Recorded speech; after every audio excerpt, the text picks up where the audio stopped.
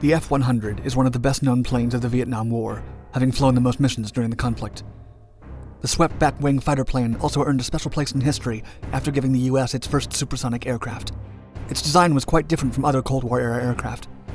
Its thin, long wing, a low set horizontal tail, and signature long snoot were a result of years of aerodynamic research.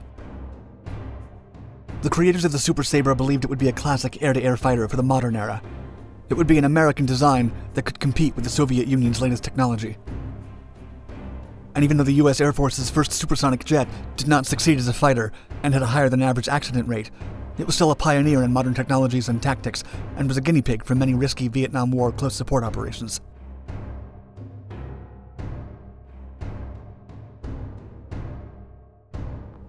The Dancer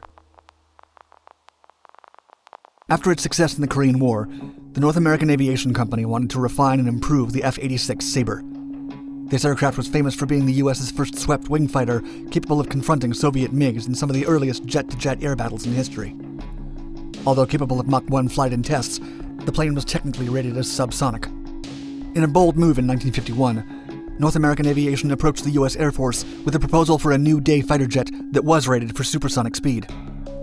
The project was nicknamed Sabre 45 because the aircraft's wings would have a 45 degree sweep. The first mock up was inspected on July 7, 1951, but had to endure over 100 modifications before the new aircraft was accepted and renamed the F 100 in November 1951. The U.S. Air Force ordered two prototypes in January 1952 and requested 250 airframes after development was completed. The first prototype, named YF 100A, flew on May 25, 1953, and reached a speed of Mach 1.05 with its Pratt & Whitney XJ57P7 engine. Later versions of the F-100 were powered by a J57P21A engine, both capable of generating over 10,000 pounds of thrust. The Air Force operational evaluation from 1953 to 55 found the new fighter jet to be of decent quality. Still, it was declared not ready for wide-scale deployment due to several critical deficiencies in the design. The first defect was its poor directional stability, which led to a sudden and unmanageable yaw and roll movement. This led to the loss of North American Aviation's chief test pilot, George Welch, in 1954. The culprit would ultimately be determined to be the aircraft's undersized tail. Another problem was nicknamed the Sabre Dance by company employees. It emerged because the aircraft's swept wings tended to lose their lift, which resulted in a violent and hard to manage pitch up. North American quickly tried to fix the aircraft's problems. In addition to making the tail larger, thinner, and higher, other F 100 design changes included the addition of new features to answer the tricky issues that arose from supersonic flight. Titanium was placed thoroughly in the plane for heat resistance. A low drag and streamlined fuselage and canopy with a small air intake duct also contributed as innovations. In addition, the wings were lengthened 26 inches. The standard jet had a service ceiling above 50,000 feet and a range of more than 1,000 statute miles.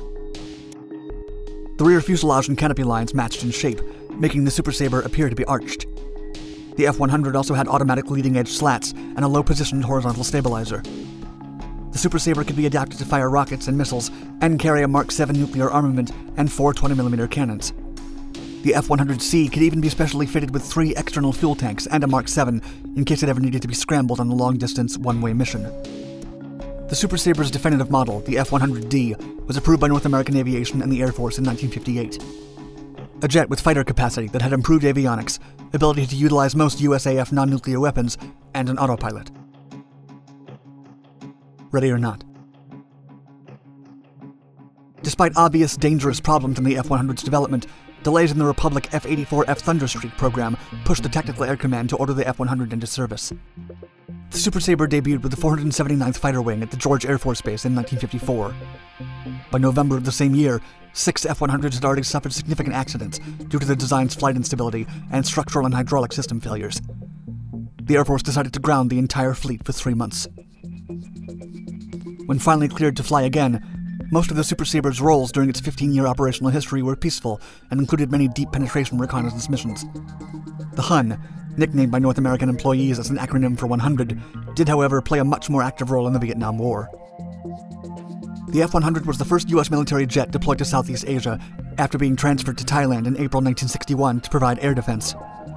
Most F 100s were painted in a distinctive green brown camouflage.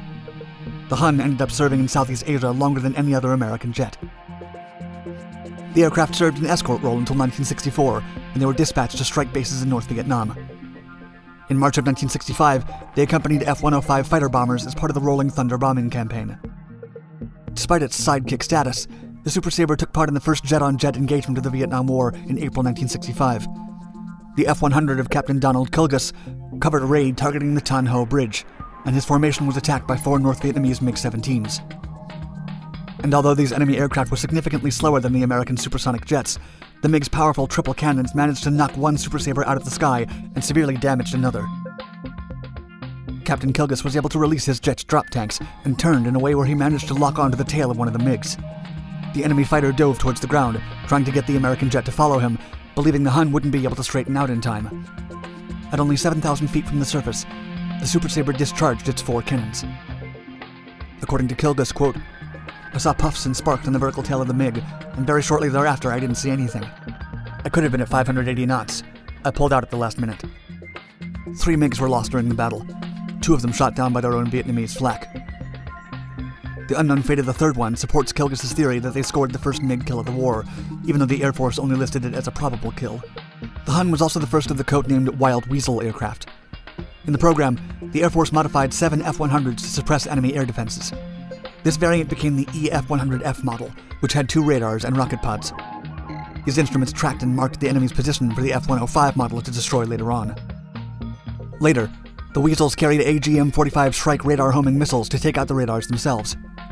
The Air Force saw the satisfying results and replaced the Huns with more modern F 4 and F 105s to perform the Wild Weasel missions after July 1966.